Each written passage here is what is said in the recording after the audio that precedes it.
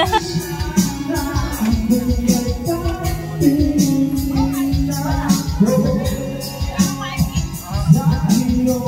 din nyo nanay. Abay, ina ko ganda ng higa ng pusa.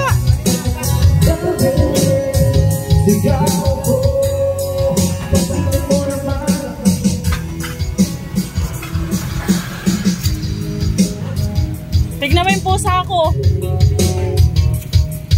May nabili daw. Saksan mo, be.